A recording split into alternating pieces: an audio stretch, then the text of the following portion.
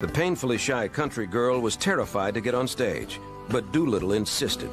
The band liked what they heard and invited Loretta to sing with them at a dance hall in Blaine, Washington. Five dollars on a Saturday night, and I saved my money up, bought me a felt hat, and a skirt with fringe on it. It's culottes, and uh, a black shirt with red, big red roses, and uh, white Acme boots.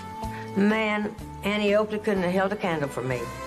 Loretta's confidence grew with every performance. In just a few months, she had her own band called Loretta's Trailblazers, with her brother J. Lee Webb on lead guitar, Roland Smiley on pedal steel, and Loretta on rhythm guitar and vocal. They had been playing for several months at a local tavern when Doolittle entered Loretta in an amateur contest on a regional TV show out of Tacoma, Washington.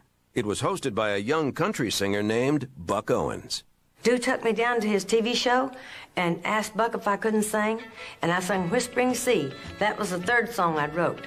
And um, this man from um, uh, Vancouver, Canada, he owned a big lumber yard. Um, he seen me sing Whispering Sea. So he called for me to come up to talk to him. Mr. Burley was his name. Norm Burley's business was lumber, not music.